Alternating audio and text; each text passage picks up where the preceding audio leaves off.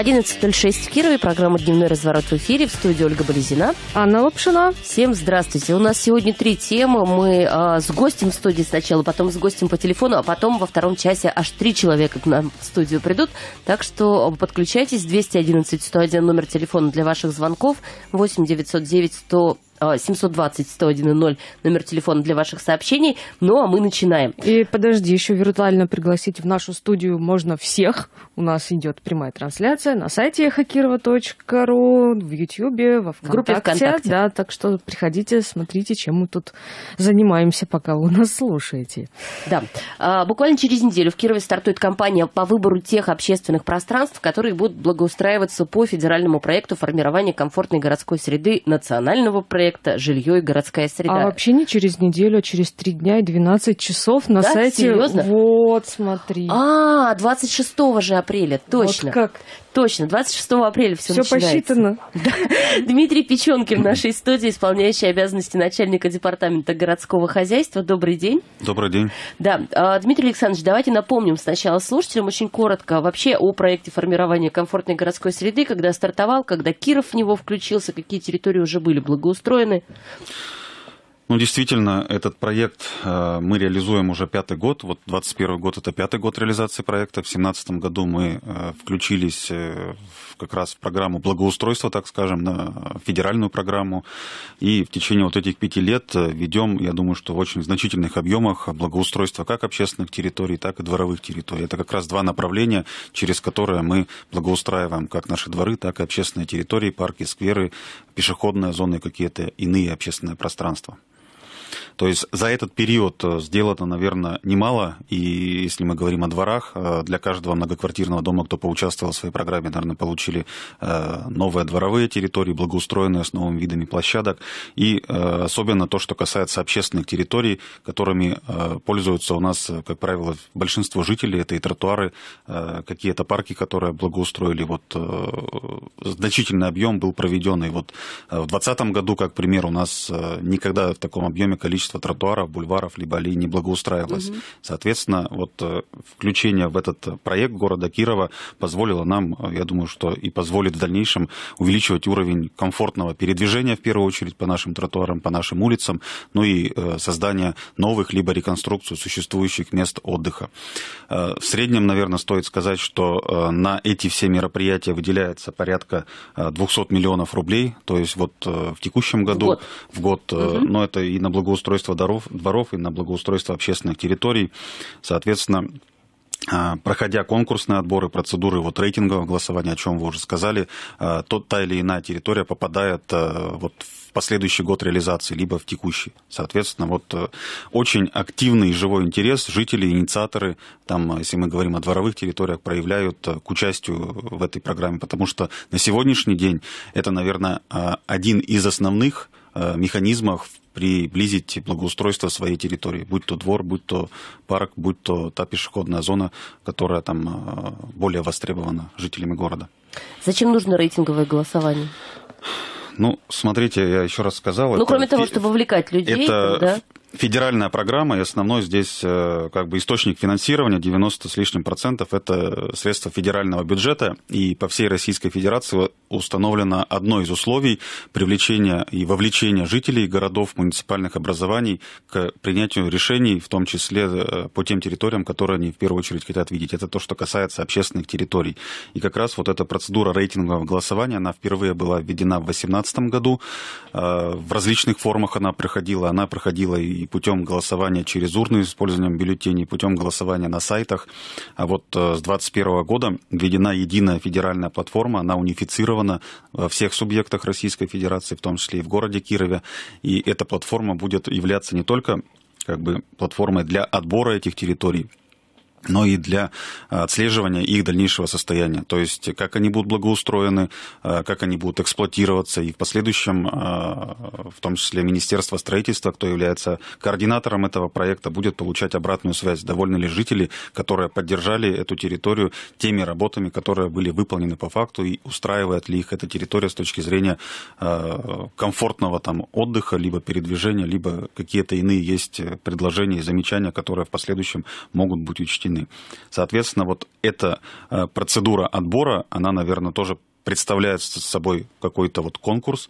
А, ну, опять же, а, здесь активность жителей, как показывает практика предыдущих периодов голосования, она на самом деле определяет а, приближение времени благоустройства того иного объекта. Такие практики есть, они вот уже реализованы, ими пользуются в том числе жители и микрорайонов, которые голосовали, да, и в целом жители города. Как это происходит? То есть вот та самая площадка, про которую вы говорите, она, ну, фактически там инструмент для голосования? То есть заходят туда и голосуют только там, или можно где-то еще свой голос оставить? Значит, ну, еще раз напомню, что с 26 апреля э, начинается работа этой единой платформы. Она сейчас является в доступе на сайте 43городсреда.ру. Это голосование за объекты, которые будут в том числе по городу Кирову. Э, да, вот я там сейчас пребываю. Пока что нельзя выбрать Киров. Голос, да. Голосовать пока нельзя. Именно там идут, идет общая информация, как проголосовать, что собой представляет эта платформа. Э, голосование будет проходить довольно-таки значительный период времени по 30 мая. Соответственно, ну, практически 5 недель будет предоставлено жителям города Кирова, чтобы выбрать ту или иную территорию. На эту платформу вот сейчас уже заканчивается э, загрузка 99 общественных территорий, те, которые будут представлены по городу Кирову.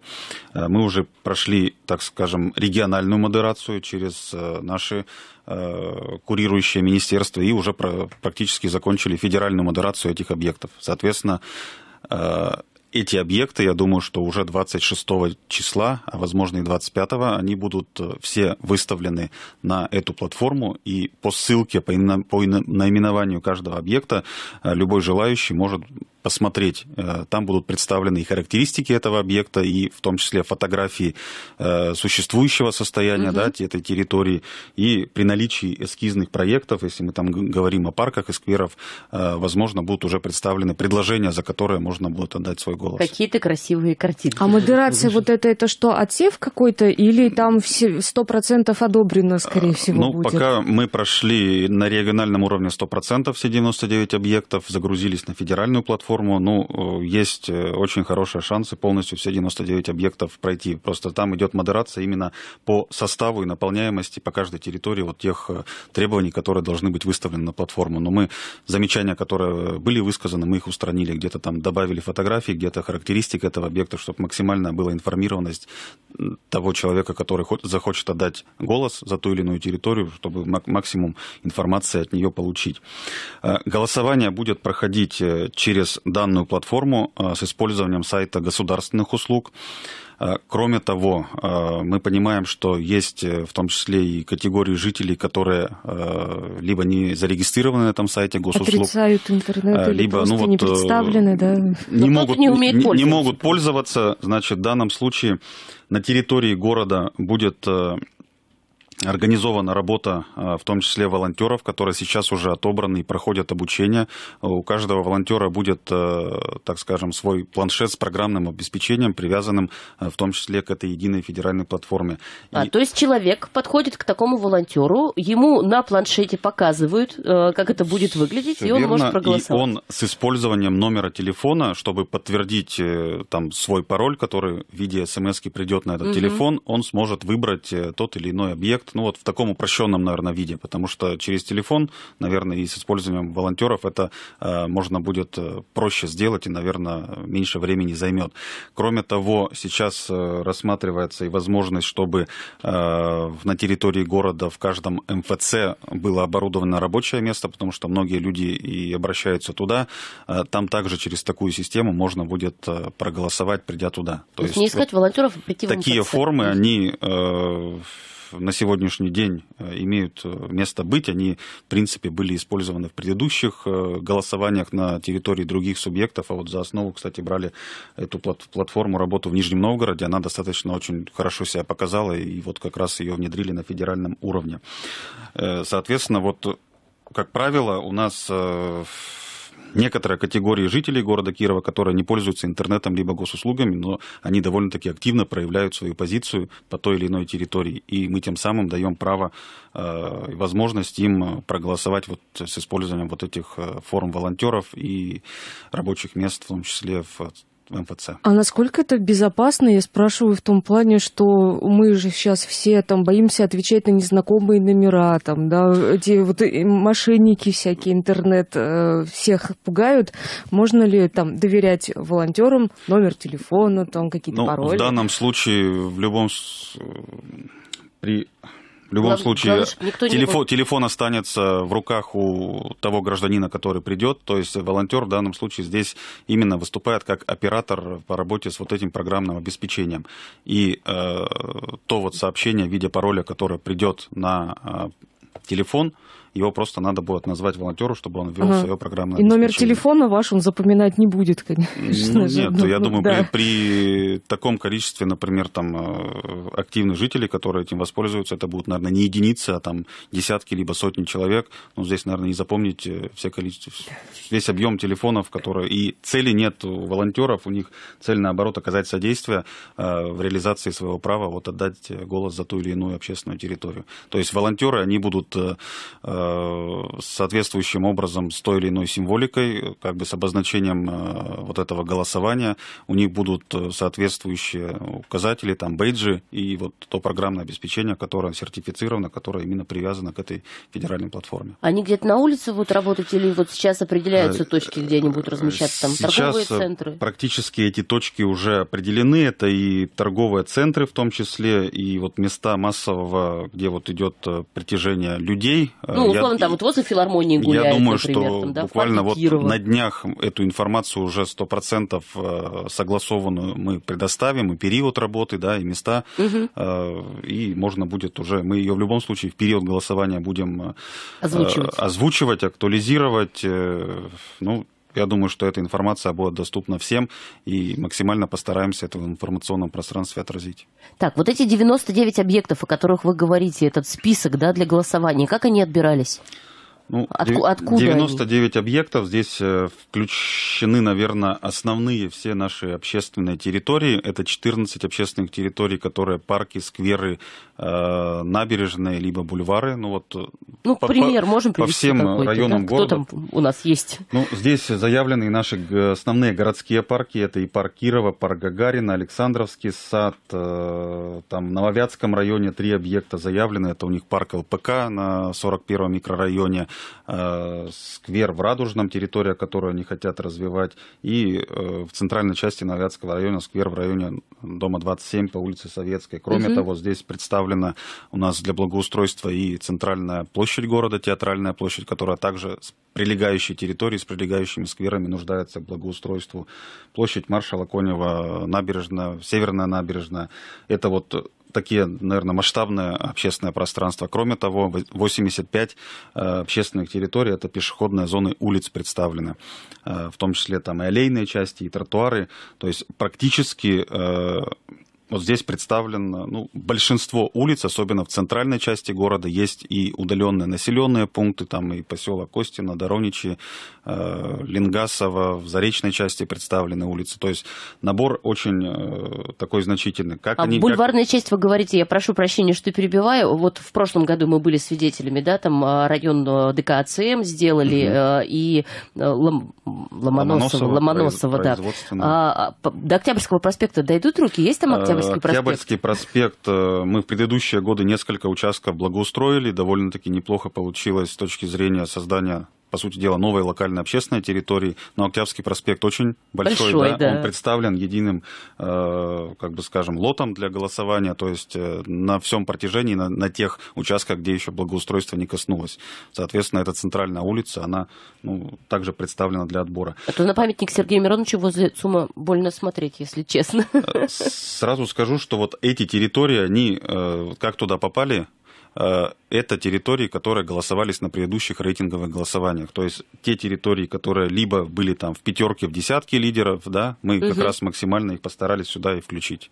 Так, у нас есть звонок от слушателя. Мы вообще призывали, конечно, звонить. Добрый день. Очень коротко. Добрый день, Надежда. Да, Надежда, коротко давайте. Вот я хочу сказать о безобразной площадке около детского мира. О, боже. Там, э, значит, по так. Комсомольской до магазина «Охотник» и по Октябрьскому проспекту до дома радио бывшего.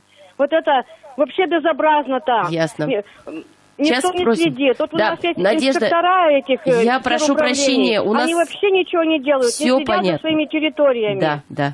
Ну вот это общественное место, никто не обращает Сейчас мы внимания. спросим. И второе, значит, э, Да. э, по улице Деповской, где ходят автобусы, э, интенсивное движение, нет тротуара от улицы Мельничной до Зеленстроя. Это безобразие. Ведь там, где ходят автобусы, Должны быть тротуары. город позаботиться о тротуарах. Ну, если уж не хотите делать э, а- асфальт, там, плитку, ну, набросайте щебенки. Мы тонем в грязи, когда ходим весной и осенью. А мы сейчас у Дмитрия Александровича спросим, есть ли Деповская. Спасибо большое, Надежде. Э, Да, у нас просто не так много времени до конца эфира, хочется все успеть, поэтому не знаю, как тут со звонками будет и с конкретными адресами. Я поняла, о чем идет речь, то есть это вот участок после э, поворота как раз на э, улицу, да, как вот под мосты заезжает, автобус едет в чистые пруды, а, поворот Это в районе. Балерса, да, да, да, да, да. Там Ну, действительно там, давайте, там да, я деревянные дома и сложно отвечу. Вот по проходить. да. Октябрьскому проспекту мы уже говорили, он э, на всем протяжении, там, где у нас тротуары не благоустроены, заявлен для, благоустро... для голосования на этой платформе, в том числе участок от Комсомольской, как раз там даже в э, сторону улицы Воровского. Мгм. То есть, кому не нравится, приходите, голосуйте. весь. А, Улица Деповская, она также э, в составе 99 э, этих объектов. Ну, э, здесь она даже заявлена вместе с улицей Укра- Украинской одним лотом, чтобы вот мы даже подошли при формировании некоторые улицы, да, э, ну, они, может быть, э, очень востребованы, но там очень мало жителей. И как создать их конкурентоспособность, мы и объединили с смежными улицами, либо там улица, которая, вот как Диповская, потом переходит в Украинскую. То есть здесь, по сути дела, это единая пешеходная зона, только разное название. То есть пешая- пешая дорога те- до те- чистых Тем прудов. самым, ну, повышаем, я думаю, что уровень конкурентоспособности, и жители улицы Украинской и Диповской смогут их поддержать э, одним, так скажем, лотом и приблизить их благоустройство. Жители всего микрорайона Чистые пруды могут В том поддержать. числе Там и жители много. поселка Нового и микрорайона Чистые пруды э, могут поддержать те, кто пользуется и намерен пользоваться в дальнейшем тротуарной сетью, которая может появиться. Так, а, 99 объектов. Так, Вообще красивая Зависла, цифра, зависла, конечно. да, да, почему А, не ну, 100 Да, хотела у меня был спросить. вопрос, все ли это, что нуждается в благоустройстве в Кирове, как я поняла, далеко не все. и что будет с теми объектами, которые не войдут в итоге в список победителей? Конечно же, э, наверное, э, территорий, которые нуждаются в благоустройстве, их э, больше, значительно больше. Но я напомню, что у нас последние там, два года мероприятия по благоустройству и ремонту тротуаров идут еще и в рамках национального проекта «Безопасные и качественные дороги». Но здесь э, одно но. Эти мероприятия мы проводим одновременно с ремонтом проезжей части в составе одного объекта. А Отдельно тротуары по безопасным качественным дорогам мы не можем ремонтировать. Соответственно, максимально вот те объекты, которые наряду с ремонтом проезжей части можем включить, э, мы это делаем. Кроме того, есть ведь и наши региональные и местные программы благоустройства. Это же программа ППМИ. На территории города реализуется программа по благоустройству подходов и подъездов к детским образовательным учреждениям. Часть депутатских наказов идут на мероприятия, вот такие локальные, наверное, по благоустройству, но это тоже мероприятия, связанные с увеличением уровня э, благоустройства на той или иной территории. Мне кажется, То есть- Дмитрий Александрович единственный человек в городе, который не путается во всех Мы этих программах Постарались все-таки, учитывая, что федеральные программы это все-таки процедура определенного отбора, которую устанавливает федерация, да, это либо конкурс, либо голосование. То есть через нее, например, вот э, маленькие локальные объекты очень трудно провести, потому что уровень там, может быть, поддержки, он и достаточен для той или иной территории, но в целом, чтобы набрать э, ли- лидерские позиции этого... Перебить парк какой-нибудь Э, или Этого, театралку, наверное, очень да. сложно. Но вот здесь я еще раз повторюсь, основные общественные пространства включены. Э, Практически, если мы на нарисуем на карте города все улицы, которые мы включили сюда, то можно увидеть, что вся историческая центральная часть города, она здесь присутствует. Кроме того, и пригородных территориях э, значительная часть улиц, особенно с пешеходными зонами, с тротуарами, существующими, она также включена. Все-таки вот можно ли ознакомиться с этим списком из 99 объектов, э, ну хотя бы уже после того, как будут подведены итоги, чтобы понять, что входило, что не входило, и что, может быть, там на будущее переедет? Э, В период работы платформы с 26 апреля э, весь перечень будет, будет э, каждый день онлайн, его можно будет видеть. Кроме того, мы через сайт администрации постараемся максимально под, по каждой территории сделать информационное сообщение, показать ее значимость, там, угу. да, историю, может быть, там, если мы берем парки и скверы, чтобы еще более информации обладал тот гражданин, кто заинтересован дать свой голос за ту или иную территорию.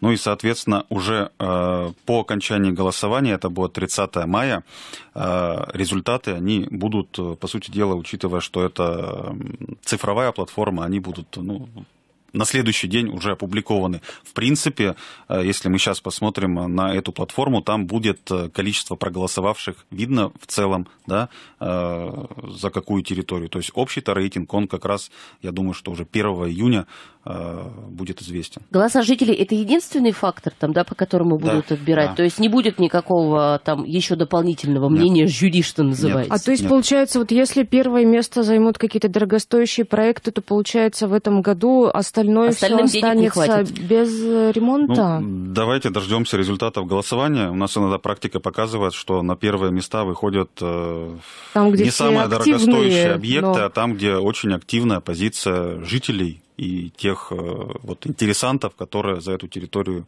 ратуют. Так, еще вопрос в таком случае. Можно ли голосовать не за свой район?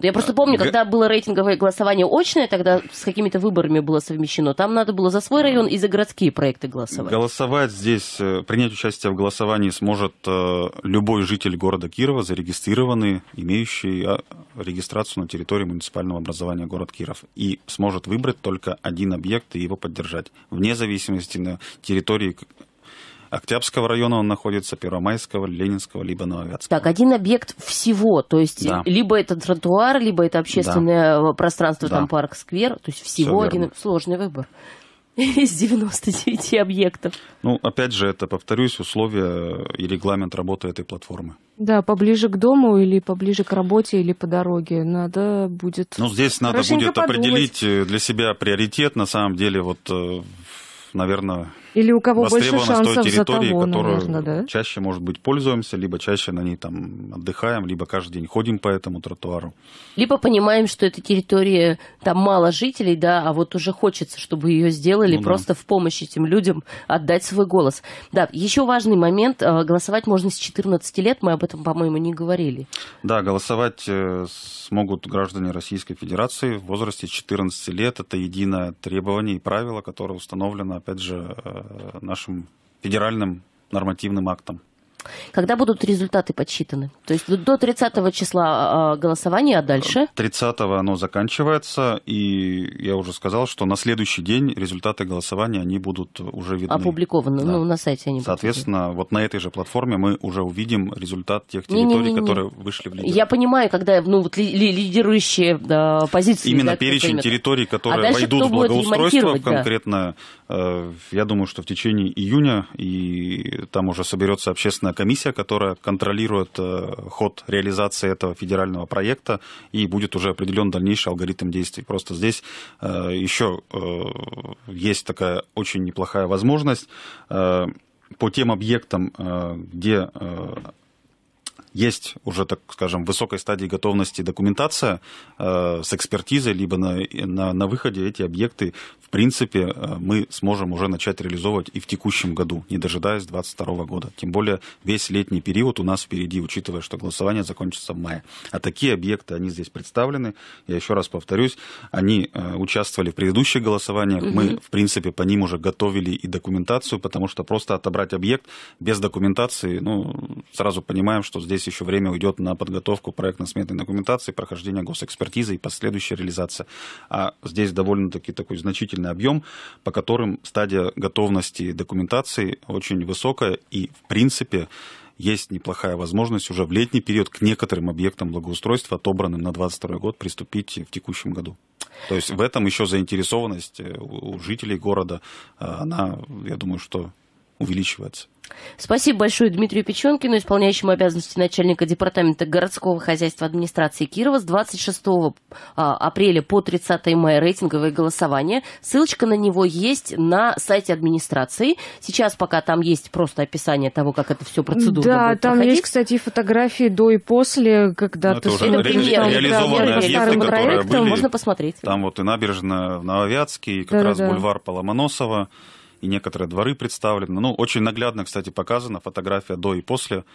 Можно что сравнить. можно получить, Грязь приняв против актив- брусчатки, активное что участие. лучше. Да. Спасибо большое. Спасибо. Спасибо. Мы прерываемся сейчас на рекламу. После рекламы вернемся со следующей темой.